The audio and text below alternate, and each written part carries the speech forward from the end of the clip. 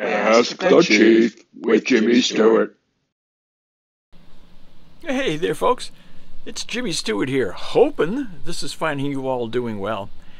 Um, I had an interesting, interesting uh, comment on the channel this morning from one of our subscribers named Craig. Now, Craig had an interesting situation. He watched one of my um, reviews that I did on guitar strings, and uh, he went out and bought himself some, just like I did, and he didn't have the opportunity to use them only because all of his guitars are actually strung with new strings, and because of that, he wasn't able to get his uh, on a guitar.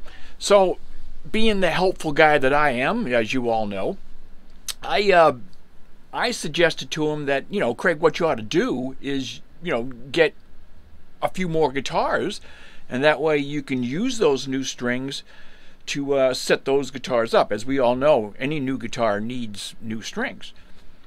So I thought that was a viable solution, obviously, and uh, you know, hopefully Craig agreed with me. But he, he he wrote back and he said that you know perhaps his wife would not appreciate that, and uh, so I told him that, you know, I'd be more than happy to to explain to her how that's really a, a viable solution. So uh, I believe her name was Kathy. Kathy, if you're watching, uh, let Craig get a few more guitars. I mean, come on, I've got a few here, as you can see.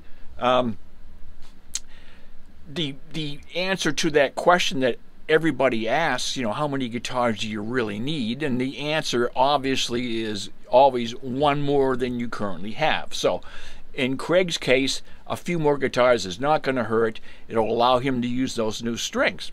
Okay? So, in fact, I've got enough guitars here where, you know, uh, I just got to find where I did with this one. Craig and Kathy, have a great weekend. For all you rest of you folks out there that haven't subscribed to the channel, come on over to the good side. Would love to have you on board.